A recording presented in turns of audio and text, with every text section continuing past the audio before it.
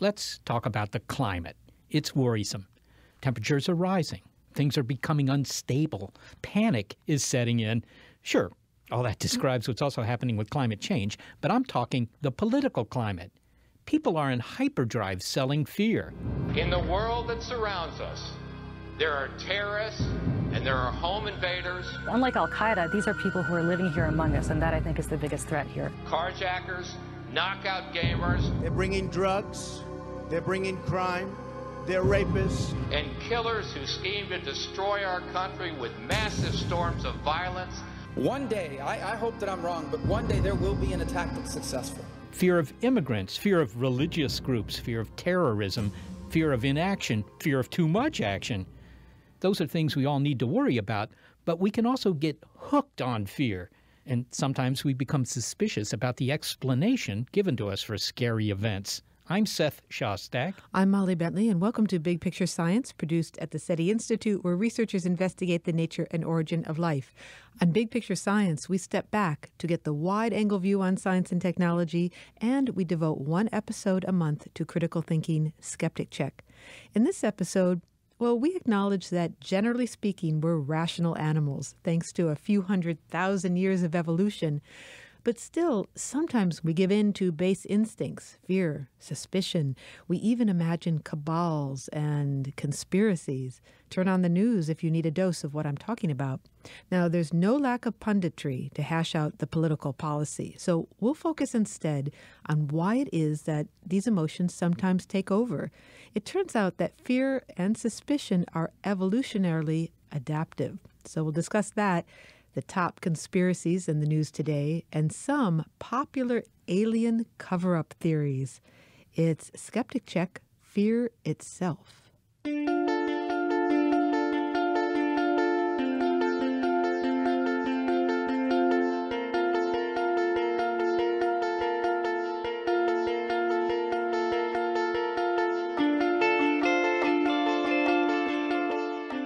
Let me assert my firm belief that the only thing we have to fear is fear itself.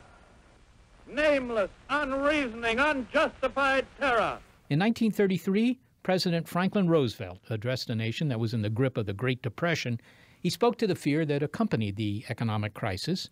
Fear at a national level has always been with us. Today, among other worries, the specter of terrorism has people on edge. So, if fear is always with us, well, maybe it's time we got to know it better. My name is Margee Kerr. I'm a sociologist who studies fear. One of Margee's questions is why we derive pleasure from the unpleasant. That said, there are different kinds of fearful situations those in which you have little control, you're helpless, such as an economic collapse or a terrorist attack, witnessing a violent crime, and those over which you do have some control. And it's the second lot that she studies and that reveal why chilling experiences can be thrilling. And scaring people can also bring in the moolah. It used to be that the sites you went to as a tourist, they were exciting in themselves, touring the landmarks of Paris, gazing into the layered abyss of the Grand Canyon. Well, the bar for attracting tourists just got higher a lot of different museums and historical sites and destinations are trying to you know incorporate some thrill some scare into the location to encourage people to come out. So for example at the grand canyon they now have the glass walk. They put that into the eiffel tower also. Ooh la la. With a glass floor you can see it's a long way down n'est-ce pas? Margee kerr says she's a fear junkie and we'll hear why we're drawn to terrifying experiences in a moment. But first from the safety of your comfy listening environment, let's head up to Canada. In Toronto, the Canadian National Railway Company has a famous building, the CN Tower. Well, I've been there. It's a towering tower. And like a lot of tall buildings, people head straight to the top. At this tower, however, some gaze at the city through protective glass, but the more daring step outside.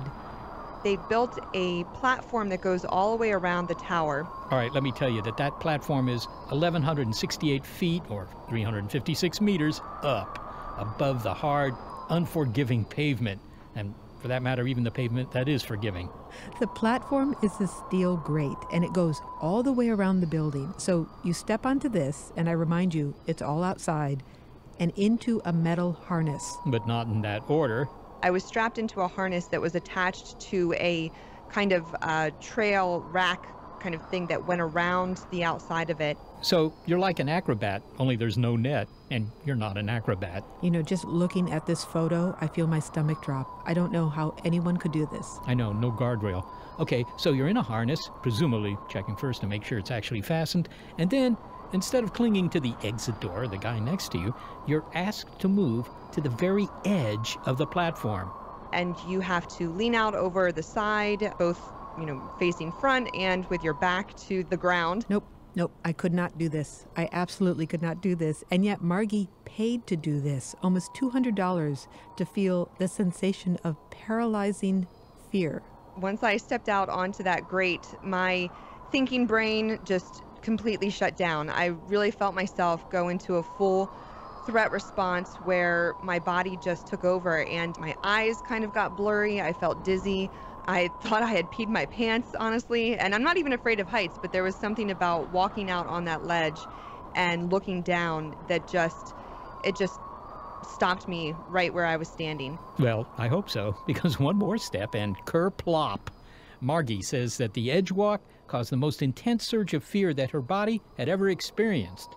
But then something changed. Another emotion took over. I felt amazing about I would say maybe 20 minutes into the experience is when I really just started to trust that I, I, wasn't actually going to die. I felt so good because, you know, I could have just gone back inside, but I didn't. I forced myself to stay there, to lean over the edge, and even though I was connected by a harness, there was a very real feeling of accomplishment there.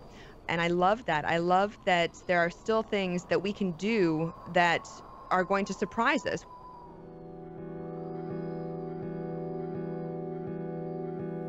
For Margee Kerr, that includes skydiving, visiting haunted houses, and one really intense Japanese roller coaster. These thrilling things don't produce the kind of fear we feel at the threat of mortal danger, but we're still drawn to experiencing fear. We're the descendants of, you know, humans who were rewarded for being novelty seeking, who were rewarded for going out and facing something scary. And it led to finding new sources of food, new places to live, new mates to start new families. So it's really worked into our DNA to be rewarded by doing scary things. And for a lot of people, and of course, this is going to vary based on socioeconomic status and geography, but we're looking for something to push ourselves in a way that is going to leave us with that feeling of success and accomplishment. So that's, I think, why we choose to do a lot of safe, scary things because success is pretty much guaranteed. I beat the big coaster. But, right. well, well, well, what's happening chemically, if you will, in our bodies when we confront these fearful situations? Yeah, the fight or flight response or the threat response, it's a response that is really responsible for keeping us alive. And what happens is our brain and bodies start releasing a whole cascade of chemicals like adrenaline, noradrenaline, cortisol.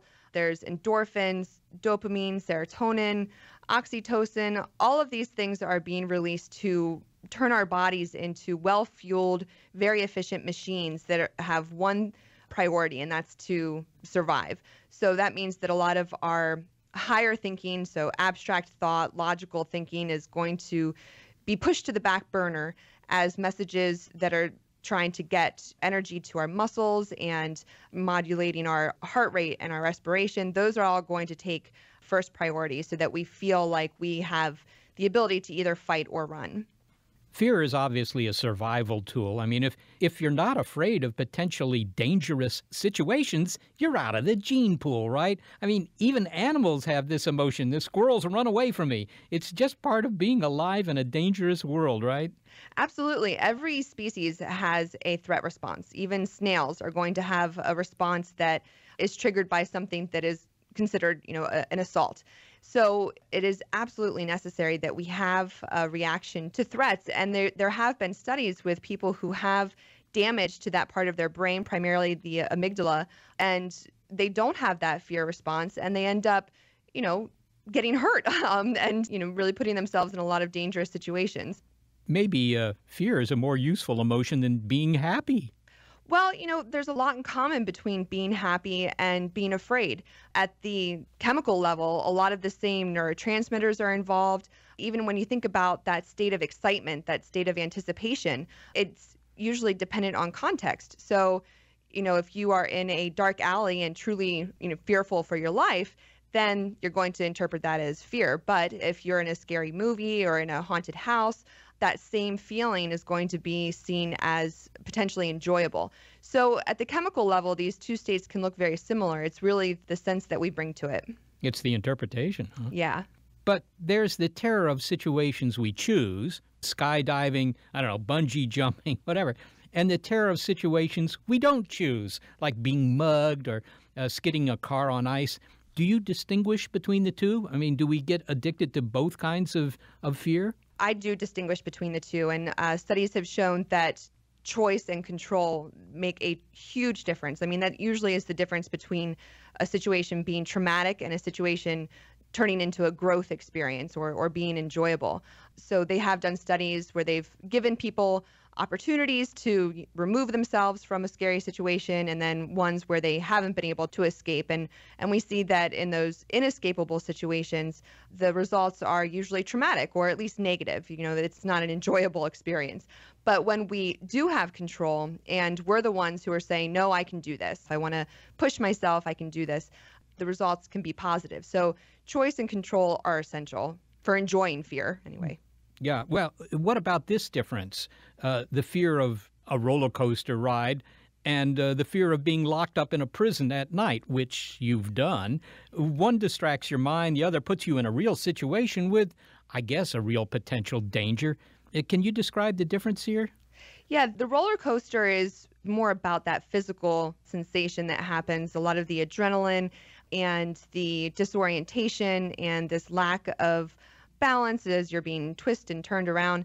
When I was in Eastern State Penitentiary in their punishment cells, in that space, it's a different type of fear, at least in, in the body. You know, in that space, there's nothing in your environment that you can use to distract yourself. So you do end up turning to your thoughts. And of course, you know, as the saying goes, the monsters in your head are often more scary than the ones in real life. Yeah. Well, I, I must say that I find nightmares generally more scary than scary movies yes, our brains are insanely imaginative and can create just the perfect combination of everything that will terrify us the most. You've studied haunted houses and noticed the difference between Japanese haunted houses and those in the United States. Maybe you could describe what the difference is. Sure. So the threat response is universal, but how we express our fear can be very different based on culture. And walking through the haunted houses in Japan, I noticed that as groups walked through together, they would get closer and closer together with each startle scare. Whereas in the US, you know, that happens sometimes, but more often when I watch people they end up, you know, running forward or running backwards. But in Japan, I saw groups forming circles around each other. There was also a big difference in the content, a lot more focus on narrative and story and making sure that visitors were immersed in the experience and uh, less emphasis on, you know, startle scares or big animatronics. So I, I thought that that was very interesting. This sounds like you know uh, something pointing to cultural differences. I don't imagine this is biological. Right. In Japan, you know, it's traditionally a more collectivist society, so more of a concern for the group rather than the individual. I mean, that's a overgeneralization, but I think that that is contributing to it. And also a really long history of folklore around ghosts, around hauntings, and a lot of the haunted houses were built around specific storylines and things that had happened to people that really made you feel connected and more goal oriented for the group. Well, when we look around the world today, there are many things to be worried about. But have we as a society become addicted to being afraid? For example, take the threat of terrorism. There's a greater chance that you'll die in a car accident or even in your bed than becoming a victim of terrorism. And yet there is a panic that's running through the country now. Are we addicted to this? And do we get a thrill from this kind of fear? I don't know that we're addicted to it. I think that we definitely are manipulating and triggering our threat response in ways that we never really evolved to handle. You know, when we turn on the computer or the TV or our phones, we're constantly seeing images that can tap into that threat response. And that wasn't the reality for most of our evolution. So I think that we're trying to figure out how to manage our threat response in this day and age when it can be triggered so easily and and repeatedly and where marketers and politicians and everybody sees how effective it is to scare people into action. And so everybody is doing it all the time. And so i don't know how much of it is a reflection of us being addicted to it as it is media marketers politicians using fear to sell their agendas because this is something that we have evolved to respond to. We see something scary or something different and startling, we're going to respond. So I think it's just a new day and age and just trying to figure out how we can really understand what we should be afraid of, which involves a lot of bringing that thinking brain back into the picture to think about what are we really at risk of. Well, finally, this evolved response, it's all good for Hollywood, right? I mean, look at all the TV shows and movies that promise to scare you. Yeah, it's a huge industry and it's continuing to grow. I think that people they do enjoy being scared and laughing, but you also see differences between cultures. You know, in the US, the horror industry, the thrill industry is very big, but that's not the case around the world. And so I'm really interested in trying to figure out what it is that makes Americans so excited to go out and scare themselves. And I think I've got, you know, some pretty good answers that, that I talk about in the book, but I want to see in other societies, you know, what's happening there that they don't enjoy it. In Bogota, I talked to political scientists and anthropologists, historians, psychologists, and lots of just people on the street. And everybody said, Yeah, no, I'm not going to pay to go get scared. We live in Bogota. You just have to walk out on the street. And I thought that they were joking, but that is the sentiment there is that, you know, they don't want to see movies that are really graphic or violent. You know, they exist, but they're not as popular as the comedies and the dramas. And I think it's connected to the political tension, the reality that Bogota is a more conflict ridden society. It's much better than it used to be, but it's still different than most Americans' realities. So being scared is best when you have that harness or when it's just shadows on a big white screen. Exactly, when we're behind the protective frame. Margee Kerr, thank you so very much for speaking with us. Thank you. Margee Kerr is a sociologist who studies fear, and she is the author of Scream Chilling Adventures in the Science of Fear. Margee pointed out how fear is being monetized, whether it's at the Eiffel Tower, the Grand Canyon, or the CN Tower. Uh, but she also points out that there's really a re- different kind of reaction to fear that we have, depending on whether you know we want to be scared or whether it's something unplanned, like getting mugged, for example. We don't enjoy that. Would you pay two hundred dollars to harness yourself to the top of a building just for the thrill of feeling vertigo? I'm not sure I'd do that, but I'd pay $10 to see Friday the 13th, part six. There's a but, part six?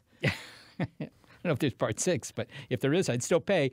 But the, the interesting thing to me is that being scared is actually part of our evolutionary toolkit. And it's very close to being daring. And being daring is a good thing. We talk about daring do.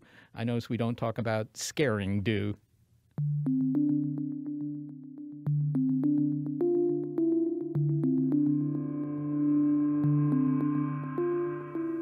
The truth is, we do have a lot of things to fear. And sometimes our brains can go a little nuts trying to make sense of weird phenomena, and we conjure up conspiracy theories. Some of my favorite alien ones are coming up. It's our monthly look at critical thinking on Big Picture Science Skeptic Check Fear Itself.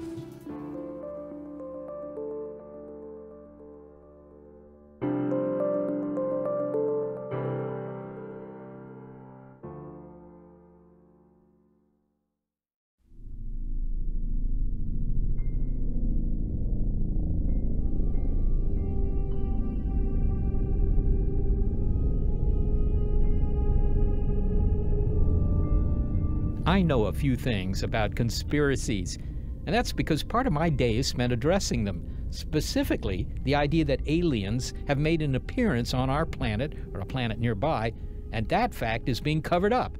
Since I'm part of the team at the SETI Institute using radio telescopes to try and eavesdrop on aliens, naturally people assume I'm the person to talk to if they think they've learned something about alien presence. So nearly every day I get at least one email or a phone call. And to give you an idea of how this often unfolds, let me tell you about an incident that occurred uh, just a couple of days ago, actually. Some guy gets in touch with me And he says, Look, Seth, uh, you know, I'm not a scientist, but I follow what you guys do. I'm very interested. Have you seen this? And attached to the message was a photo. And it was this black and white photo of some rocky terrain somewhere. It actually had been a photo made by one of the early Mars rovers. The photo was made in 2004. So I look at the photo, and what you see in the photo are, you know, sort of bumpy things, just like, I don't know, just about any rock you look at. And he was pointing to something in the photo that he thought was very significant. You could see sort of what looked like, I don't know, tentacles or maybe a bit of a body. Uh, it was a little hard. I have to say it was somewhat ambiguous, but that's kind of what it looked like. But he said, look, it was very obvious what it was. It was a crinoid and a fossilized crinoid. A crinoid is a sea creature. Uh, we have crinoids today. You know, they sit around in the bottom of the ocean and they have their mouths at the top with these sort of feathery things around them. Uh, but there were a lot more crinoids actually a couple hundred million years ago, and that, that may not matter. He's claiming that this was a fossilized animal, a fossilized animal that had existed on Mars. The implication was that Mars not only had life, but it had complicated sea creatures and since this was a NASA photo, why hadn't we heard anything about this from the space agency itself? Well, there was only one reason. NASA was downplaying the story of life on Mars because they didn't want the public to know. Okay, hang on for just a second, Seth. I'm going to stop you there, and we'll hear in a moment what you said to this guy. But first, let's look at the bigger picture of this sort of thing because it's not unusual. It actually happens a lot as we try to make sense of something weird or a disturbing event, and there are famous examples of this. Psychologist Rob Brotherton shares one the story of Umbrella Man. One of my favorite examples is the Umbrella Man, which is to do with the Kennedy assassinations. People noticed that there was this guy standing at the side of the road at basically the moment Kennedy was shot. And this guy was holding up an open umbrella, which made no sense because it was a sunny day, it was windy, it wasn't umbrella weather. Nobody else had an umbrella. And so for some people, this was a dot, and they connected it to the assassination. They said maybe this umbrella man was part of a conspiracy. Maybe he was signaling to the assassins. Maybe he had a gun hidden inside his umbrella. Maybe he shot Kennedy. Okay, the umbrella man theory is nothing if not seemingly logical. I mean, a guy has an umbrella open on a sunny day. That's weird, right? And the president is going to drive right by this suspicious character. Well, it makes total sense to assume that this suspicious guy with the umbrella had something to do with the assassination until we start digging deeper. Fortunately, we do know the real reason why the umbrella man was there. Turns out that he was this guy who was just kind of heckling Kennedy. He knew that the black umbrella that he was holding was a sore spot with the Kennedy family going back to JFK's dad, Joseph Kennedy, who'd been the ambassador to Britain in the run up to World War II. The British Prime Minister Neville Chamberlain was noted for carrying around a black umbrella, and he'd been criticized for his policy of appeasement towards the Nazis. And so this guy, the umbrella man, he just took along this umbrella to kind of heckle JFK. And nobody could have guessed that before the government tracked him down in the 1970s and got this explanation. Nobody could have guessed that. And so before that explanation was found out, the conspiracy theories were kind of the best, most satisfying, coherent explanation that was available. So, the real reason for this umbrella guy being there in Dallas is kind of complicated. I mean, who could possibly guess that the umbrella had a symbolic meaning for the Kennedy family, that it represented Neville Chamberlain's appeasement policy, and that JFK's father had supported that, and that this umbrella guy was making a statement about how he felt about the Kennedy family? It's really an obscure story that has nothing to do with the assassination. So the conspiracy idea might have seemed more reasonable, but it didn't agree with the evidence.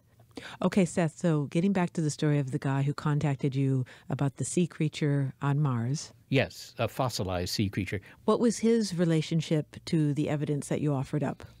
I didn't have evidence, but I did have arguments. And so what I wrote back was, hey, look, this is pareidolia, which is just a Greek word for our brain's ability to find familiar objects in, in random patterns, like seeing faces in the clouds. All right, so the crinoid was just his brain turning the, I don't know, the corrugations in this rock into a sea creature. But the interesting thing was that when I suggested this, the correspondent came back insisting that I look harder at the photo and that I get a bunch of biologists to look hard at the photo. And the more I talked with the guy, the less friendly he became because there was only one correct response to his claim that NASA was hiding evidence for life on Mars, and that was, I had to agree with him. The facts are that I get a lot of photos like this. Every week you get photos that were made on Mars that look like something. And usually they're critters, but sometimes they're little statues of women, sometimes they're Nazi helmets, sometimes they're auto parts. And the facts are just because you can look at a photo and say, I see something in there that reminds me of something I've seen in the zoo or at the museum, doesn't mean that that's good evidence for life on Mars. Have any of these photos been convincing? Well, actually, not. I mean, there was one a couple of weeks ago where people were claiming they saw a crab on the surface of Mars, right, in the rock. And this was a big story. Uh, this photo was circulated all over the place, and it kind of looked like a crab. But on the other hand, it also looked kind of like a windblown rock. And, you know, unless you can go up there and grab it and put it under the microscope and see, you know, crab cells or something like that, you have to say, you know, in the photo, it kind of looks like a crab, but I can go to the mountains and I see a mountain that kind of looks like the face of a man, but it doesn't mean it's a man. It sounds like, in the case of the umbrella man, uh, people jump to a conclusion that seems reasonable because their eyes are telling them that it's reasonable. Are there other popular alien stories? Well, the ones I hear tend to fall into two categories. They're, they're those where they're coming to me with evidence that they've collected right? Uh, uh, photos that they've made or videos that they've made. And the other kind of contact I get a lot is from people who are making the case that the aliens are, for example, visiting Earth based on what other people have collected as evidence. So, you know, if a bunch of uh, uh, Air Force pilots claim that they've seen UFOs or, or, astronauts claim they've seen UFOs, then people will argue with me, you should believe this because these guys are credible. So that's an argument from uh, authority kind of deal. But the more interesting ones are the people who send me evidence that they have collected personally. Can you give an example where the back and forth between you and, and one of these guys actually escalated? Well, uh, yeah, I try to. I try not to get frustrated, but I think the the most uh, interesting one for me was years ago in Boulder, Colorado, was some people had a video and they said, look at this video. And in this video, you could see something suddenly fly across the sky at very high speed. And they claimed that, you know, no airplane could do that. It was moving too fast. Well, it was certainly moving at high speed on the video. But of course, how fast it was really going depended on, you know, how far the object was away. And I thought, you know, this could be a bird that's only 50 feet up. It could be a bug that's only five feet up. I mean, how do I know that it's UFO? Because there was no way to know how far away it was. So I talked to this guy, and he had a buddy. They were in it together. And I suggested to them, why don't the two of you go out on a day where there are a few clouds around and then see if you get something flying across the sky then? Because if there are clouds behind it, then at least you have some idea of how far away it is. How did they respond to that? They didn't want to do it. They said, well, our equipment's not good enough. Well, their equipment was plenty good enough. I mean, it wasn't that. But they, they were afraid, I think, I think, they were afraid of finding out that what they thought was evidence of alien visitation was something very much more prosaic. Can you give me one example of a particularly interesting case? Well, there was a guy in Italy who sent me several photos that he had made in which you could see these sort of light blobs sort of hanging over the uh, street there in whatever city he was living in. But I noticed that not only were the photos made at night, and of course that you could understand that, maybe the light blobs are hard to see during the day. But what I did notice is that every photo that showed the light blob, there was also a street lamp somewhere in the photo. Okay, so you have this really bright light source there in the photo, and I was sure that all that was happening is that that light was bouncing around the optics of his camera, making these blobs. And I wrote back to him and I said, I think that's what it is. And he came back and he sent me 10 more photos, but all of them had street lights too. And I said, Show me one where you don't have a street lamp in the photo and if you still see the blobs. And then he went silent it sounds as though people resist you presenting counter arguments to their argument of aliens among us. Well, they do, and I can understand that. I mean, look, you've seen something you think it's really important because if you're talking about proof of aliens, of course that's important. And you just want to verify that your discovery is real by calling up somebody who's, as it were, in the alien business, and they say, well, actually, no, you fooled yourself. Uh, that's not very good evidence. So then I become part of the cover up this massive cover up, which doesn't just involve NASA, now it involves a SETI scientists, and who knows who else are all conspiring to keep from the public the fact that we have found good evidence for life in space. But that doesn't make any sense. There wouldn't be a cover up, right? This could be the most interesting science discovery of all time. Every scientist would want to get in on it. And the idea that there's good evidence for life on Mars, whether it's you know, crabs or crinoids or whatever, I mean, nothing would help NASA more than to find evidence of life on Mars. They have absolutely no incentive to cover it up. What would it take to have a worldwide cover up of alien visitation or evidence of life on Mars? Well, you'd have to have the thousands of NASA scientists and scientists at just about every other university who work on the Mars photos, for example, to agree that they're going to ignore evidence for life on the red planet. As far as UFOs and so forth, well, UFOs are seen around the world. So this would require that every government hide the evidence, not just the Americans, but, but the Botswanans and the Brazilians and the Bolivians and so forth. It involves a conspiracy with tens of thousands of people. So you got to say, that doesn't sound quite as reasonable as the suggestion that maybe it's not what you think it is. Seth, you have a very interesting job having to consider some of these colorful stories. Well, it, it, it, certainly is interesting, and you never know what that next caller is going to have to tell you. But on the other hand, uh, many of them have uh, rather similar stories. It sounds as though some people are resistant to hearing the evidence, uh, but you know a lot about evidence because you're a scientist. Psst, Gary here. I got to talk fast before they realize I've commandeered the mic. I want to talk to you about the secret stuff that no one wants you to know about, and it's dark. I have strong evidence that big picture science isn't run by Seth and Molly, but by shadow producers who hold the true power. Sure, everyone will deny it, but think about it. Have you noticed that Seth Shostak has 11 letters in his name and Molly Bentley has 12 letters? And that adds up to 23, and there are 23 pairs of chromosomes. Coincidence? That doesn't just happen unless that number is a message for someone or something. And that, oh, I gotta go. Uh, yeah, no, well, that's actually very interesting. Coming up, some conspiracy theories are about aliens, but others trade in darker themes. They suggest hidden explanations and cover ups for devastating events, but our brains are wired to find them plausible. Find out why. It's our monthly look at critical thinking on Big Picture Science. Skeptic Check Fear Itself.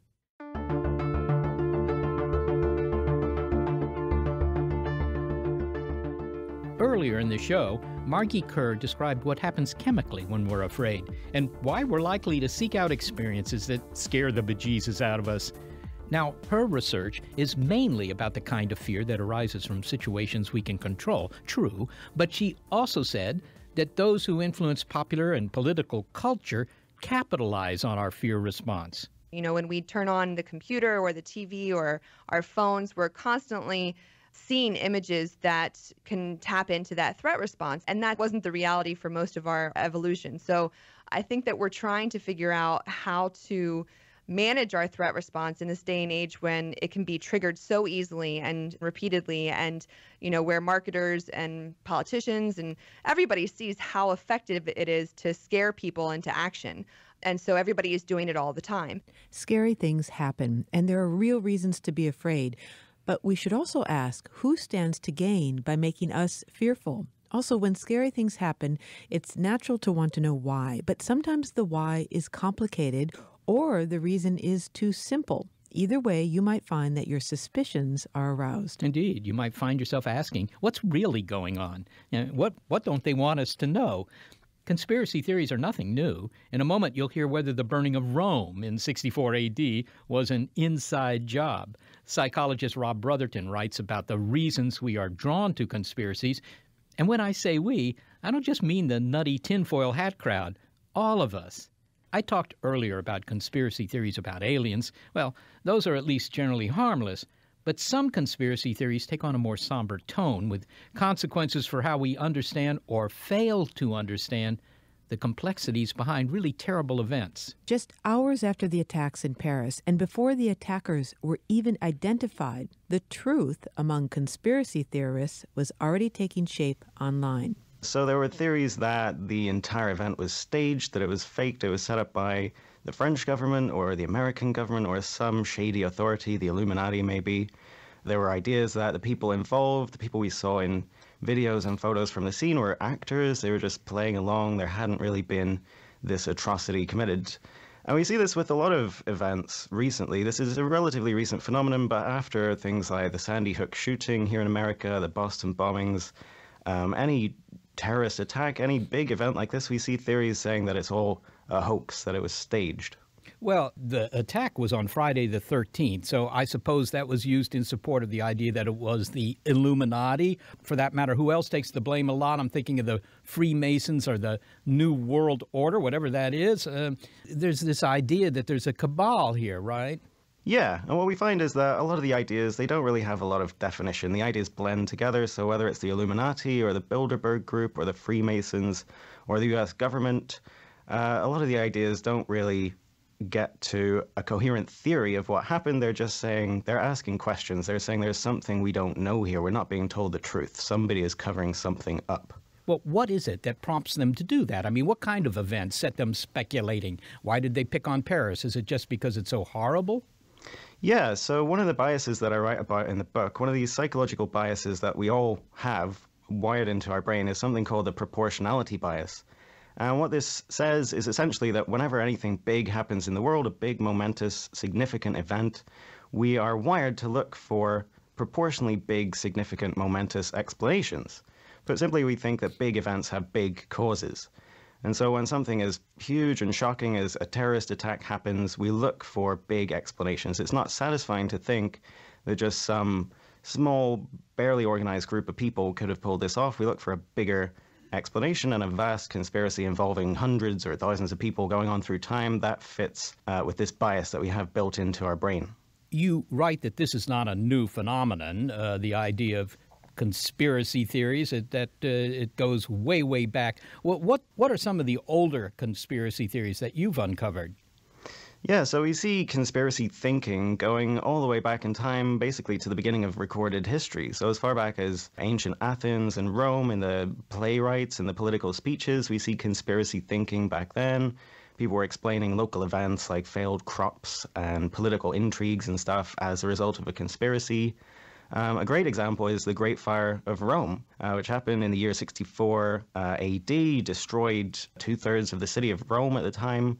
And immediately, within days of the events, people were speculating about how it might have been an inside job. Maybe the Emperor Nero organized the fire, maybe he started it, and maybe he was fiddling on the roof of the palace while the city burned, celebrating what he'd done. Yeah, but you write that he wasn't actually fiddling, he was singing. Well, indeed, because fiddles hadn't been invented back then, so we know oh, that he couldn't have been fiddling. There were ideas that he was playing his lyre or he was just singing and uh, having a good time. But yeah, we know that he wasn't playing the fiddle. We can be sure of that. What are some of the top conspiracy theories making the rounds these days? Well, so looking at the surveys, there's quite a lot of data on this, and one of the most popular conspiracy theories still is the assassination of JFK. People saying that Lee Harvey Oswald didn't do it alone, that somebody else was involved. And all sorts of culprits have been named over the years, whether it's Lyndon Baines Johnson or the Freemasons or the Cubans or the Mafia. There are all sorts of villains, according to these conspiracy theories, but more than half of the American public, according to various surveys over the year, buy into that idea that Lee Harvey Oswald didn't act alone. So, still, all these years later, that's one of the most widely believed conspiracy theories. And in terms of more recent events, the 9 11 attacks, still, there are a lot of conspiracy theories about those, and they're more widely believed than you might think. So, again, according to different surveys, uh, around half of the American public think that the US government isn't telling the entire truth, that the event should be reinvestigated. And asking more specific questions like Do you think the Bush administration knew in advance about the attacks, or do you think they orchestrated the attacks? We find smaller numbers of people believe those, but still quite substantial. Around a quarter or a third of the American public would agree with those ideas. Well, there were theories making the rounds that the 2012 Sandy Hook shooting, in which 20 children died, didn't really happen. What sort of proof would be offered to support such an idea? Well, so with the Sandy Hook theories, with the Boston bombing, with the Paris attacks, all these events that are streamed live basically on 24 hour rolling news. They're all over the internet within minutes of the attacks occurring. We often don't know exactly what happened, who is responsible until it's been investigated. But we have all this information available immediately, and so some people troll through all this information, they look at the pictures, they look at the eyewitness statements, and they look for anything that doesn't immediately seem to fit. Any anomaly, any little factoid that can be construed as evidence potentially of a conspiracy. And if they can find anybody who seems to look similar, people who look a bit similar in pictures from Sandy Hook or from Paris, then they say, well, look, we've found one of these actors, one of what they call crisis actors, who supposedly have been paid to be at the scene to act as if this attack has occurred when in fact it hasn't. My goodness. But, Rob, it strains my credulity to think that uh, there are people who think that the shooting at Sandy Hook was faked. And yet, you've written that belief in conspiracy theories is not limited to people who are, shall we say, somehow outside the norm, the tinfoil hat crowd, that we're all vulnerable to this. Why is that? Well, absolutely. And the, the Sandy Hook truthers and people like that, they're at the extreme end of the spectrum, I think it's fair to say. But again, like you say, we all do this. We're all susceptible. This is one of the things that our brain is best at, is finding these anomalies, finding pieces of information that don't seem to go together or that we can connect together, connecting the dots. But it isn't just a lack of education. No. So, one of the ideas that has been put forward for why some people believe conspiracy theories is that it's to do with being simple minded, with looking for simple explanations for complex events and preferring that kind of concrete, simple explanation over more chaotic explanations.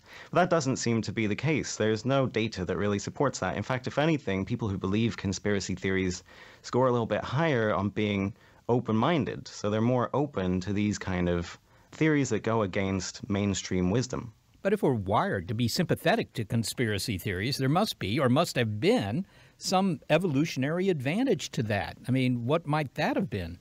Yeah, so another one of the psychological biases that I write about is something I call the intentionality bias. And this is the idea that basically, whenever anything ambiguous happens in the world, we're wired to assume that there was some intent behind it, that somebody meant it to happen. And so, in thinking about our evolution, this makes perfect sense that we would be uh, designed to think this way, so to speak, because if, you know, say a rock falls off a cliff and almost kills us, we could assume that it was just a random event that it was pushed off by the wind or something like that, or we could assume that maybe somebody pushed it. And if it was just the wind, we can't really do anything about it. It was just a chance event. But if it was somebody who did it, who meant to harm us, then knowing that or assuming that would be good for us. We could take action to potentially protect ourselves. And so conspiracy theories might be the modern uh, product of that way of thinking. You know, if somebody is out to harm us, then it's good to be a little bit suspicious, to be on guard. So it's a matter of, uh, well, you might be wrong, but on the other hand, there's some advantage in assuming that you're right. Exactly. And often the cost of being wrong is negligible, whereas the benefits of being right would be great. But, Rob, there are conspiracies, of course. Um, Watergate is an obvious example. So maybe we should uh, define a little bit better what's meant by conspiracy theory, because that's a little different than just a conspiracy. I mean, I have conspiracies all the time with my colleagues here about, you know, how we're going to get some work done or whatever, that kind of thing, and even worse ones. Absolutely. This is a really important point is that me and my colleagues in psychology, what we're not saying is that conspiracy theories are necessarily false. And we're certainly not saying that conspiracies never happen in the world, because of course they do all the time, whether it's on a small scale like in our personal lives or on a bigger scale, these political conspiracies like Watergate or MK Ultra, the Tuskegee study, and things like that. And so you're right, it's important to be careful when we try and define conspiracy theory. And so one of those characteristics is that conspiracy theories are inherently unproven. And by that, I don't mean that they don't satisfy some kind of mainstream scientific consensus of what is true and what's false. I mean that built into the theories, they're saying that these events are ongoing, that they haven't been fully revealed, that most people don't realize the truth.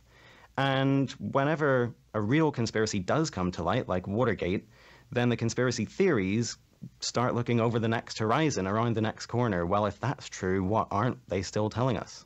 I get a lot of calls about how UFOs are buzzing the skies or how we're covering up evidence of alien visitation.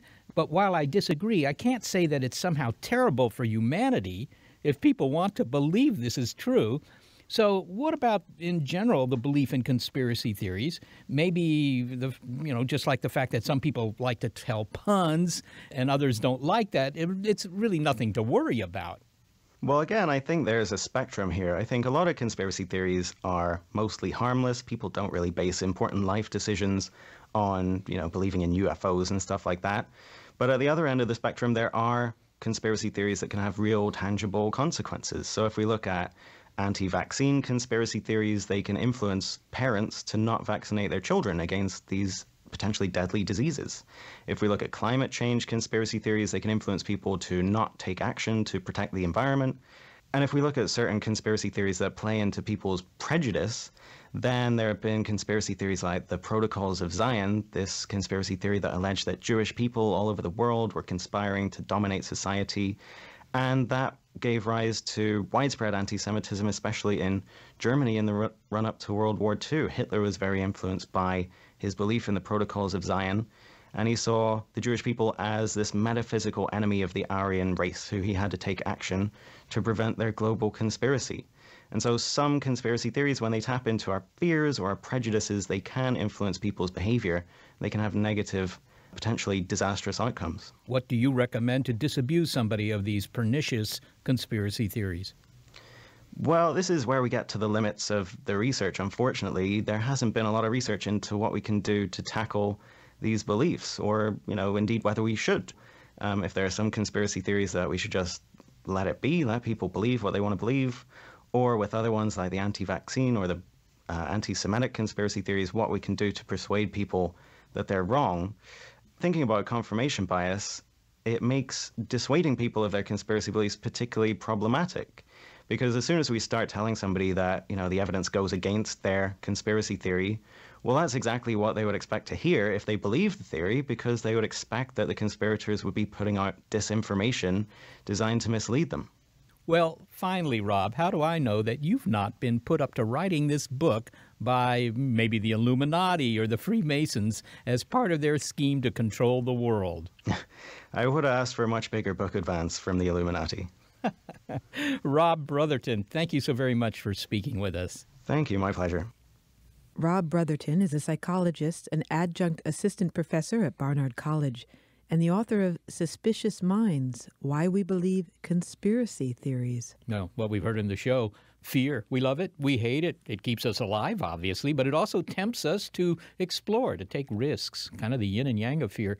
But when we feel fearful without wanting to, when world events give me goosebumps, we can all too quickly look for a deeper explanation. Not the devil, as we would have said a thousand years ago, but maybe a secret group of people conspiring to do us harm. Well, it's something to keep in mind when we think about how fear and fear of conspiracy is used to shape our opinions and even influence our policy.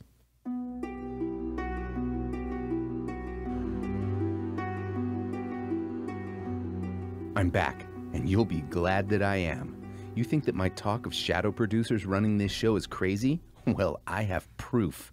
This guy Brotherton talks a lot about conspiracy, but these aren't theories, they're actual plots. But the one you didn't hear him mention is the most disturbing of them all because it's happening right now and they don't want you to know about it. It's the presence of intergalactic lizards among us. Oh, Brotherton slipped and mentioned it, but then the shadow producers edited it out. Luckily, I rescued the clip. Check this out. You know, for the most part, conspiracy theories, they aren't proposing anything that kind of contradicts, you know, mainstream physics. There's nothing inherently that couldn't be true uh, until you start getting to theories like about intergalactic lizards and stuff like that. Uh, but I think they're in a different class. I think for the most part, conspiracy theories could be true, but they exist on this spectrum of plausibility. You didn't hear about the intergalactic lizards in the interview, did you? Why would they take that out unless the shadow producers were hiding the truth that they don't want you to know? And that's that lizards and other reptiles travel between galaxies, which he says violates mainstream physics. But I happen to know that he's wrong, my friend, and not just because I've done the trip myself. I read about it online. Being cold blooded gives reptiles the edge in space travel. See, they don't have to heat the rocket. Huh? Think about it. So they're among us either disguised as earth lizards or humans. Either way, the shadow producers, who are in cahoots with the they that they don't want you to know about, don't want you to know about it. But I've got it all written down. Oh, I gotta go.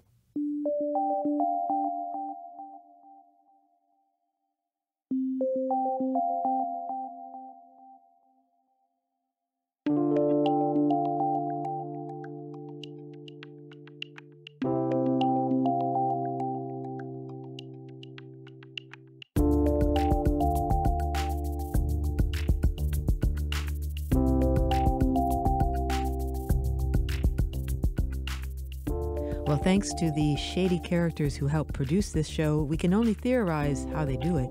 Gary Niederhoff and Barbara Vance. Also, thanks to financial support from Rena Shulsky David and Sammy David. Big Picture Science is produced at the SETI Institute, where scientists study the origin and nature of life. And a big thanks also to our listeners. Your ears have been attuned to our monthly look at critical thinking Skeptic Check. This episode, Fear Itself. If you'd like to hear more Skeptic Check or other Big Picture Science episodes, you'll find them in our archive at bigpicturescience.org. And if you're a podcast listener, but you prefer listening to over the air radio, because after all, it's less susceptible to being tracked by the black helicopters, well, check out the listing on our website of radio stations that carry the program. And if your local station is not on that list, consider letting them know you like the show. And do you have a comment, a criticism, or a suggestion for us? Well, throw in some faint praise and then email it all to bigpicturescience at SETI.org.